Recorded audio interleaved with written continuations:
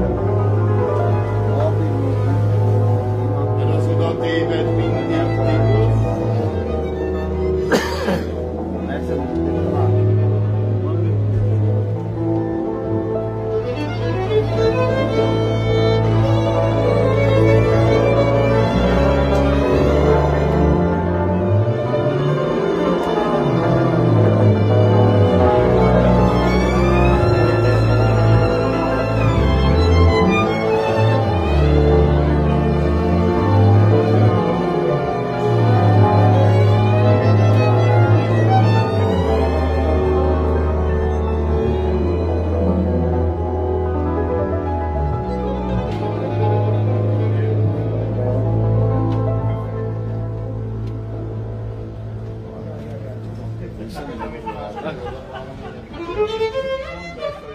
ど。